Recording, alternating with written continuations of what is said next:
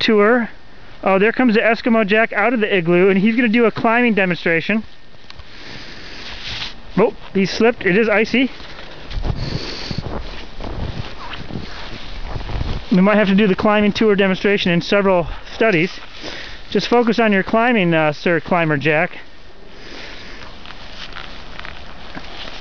Uh, he's being very safe and methodical. Uh, we're going to have to stop and continue to part two of the climbing adventure.